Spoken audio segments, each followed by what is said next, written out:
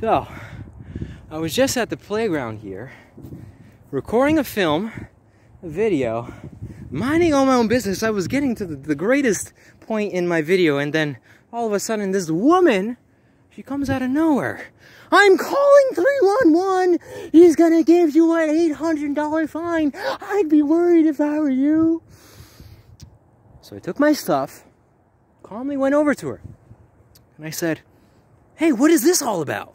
And she's like, don't you know? The virus, you're gonna contaminate people. And I'm just like, really? What kind of contamination is that? And like, don't you watch the news? Like, what's going on? Like, no, I actually don't watch the news and I'm actually healthy. so, and it's like, yeah, I was like, I don't believe in viruses. I don't believe in, in all these diseases because that's not part of my reality. That's not part of my reality. And then they just walked away.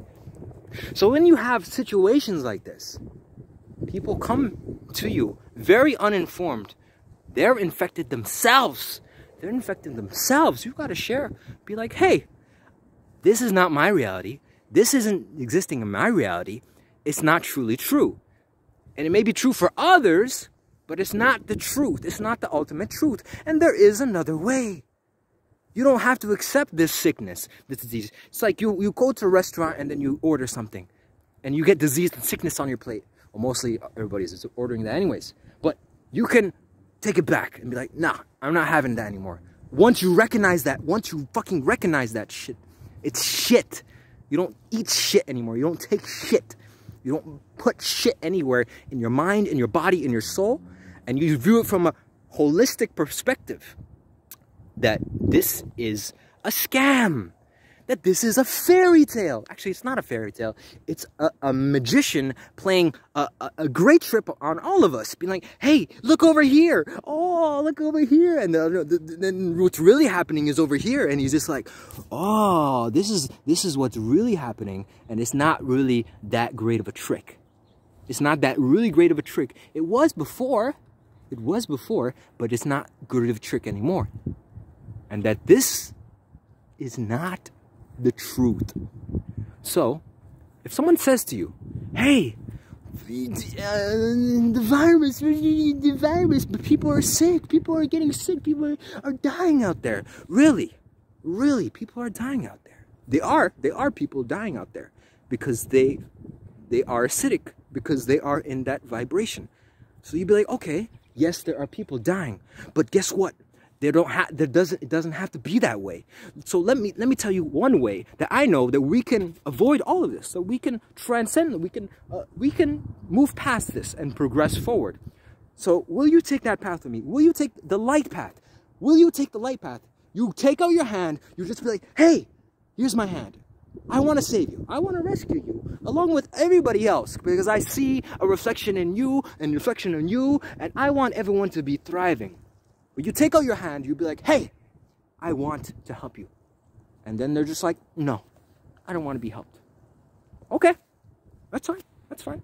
Do, do your thing. Do your thing. And don't don't emotionally don't emotionally react to that because if you do you got you get caught up in that you get caught up in that vibration no matter if they're family friends or your soulmate whoever it is you be like okay because and you accept that you accept that you accept that. And then there's no there's no emotional drainage happening there. There's none of that. And you just, you just be centered you just be centered you just be centered. You stay focused you stay fucking focused you stay in your fucking lane and you'd be like okay there are people who want help out there.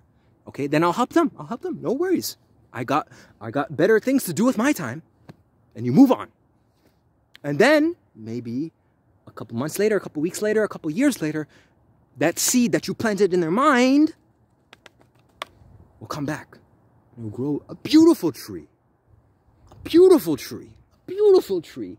Beautiful tree. And they'll start to flourish. So we can offer our encouragement, we can offer a help, but you know, don't be emotionally attached to these things because you will end up draining yourselves and you will end up being in a state of discomfort of well not discomfort more of of decay and, and destruction, self destruction. These emotions aren't very loving and they start deteriorating your body, your mind, your soul. So stay centered, stay in your lane, love yourself, love others, accept others, love others unconditionally, show them the way. They don't take the way right away, that's okay. Just take it one step at a time, every single day, every single moment, and everything will be fine. Trust, trust, trust, trust. Love you all. Peace.